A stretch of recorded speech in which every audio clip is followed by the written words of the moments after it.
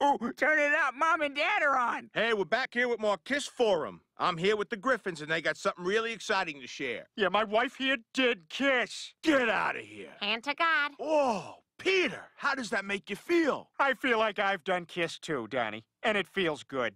Lois, you got any tips for the young girls in the audience tonight? Well, I guess the best advice I can give is that you never know who's gonna grow up to be famous, so just make yourself available. Cool, cool. Well, that's our show for tonight. Now stay tuned for Battlestar Galactica Forum. Welcome to Battlestar Galactica Forum.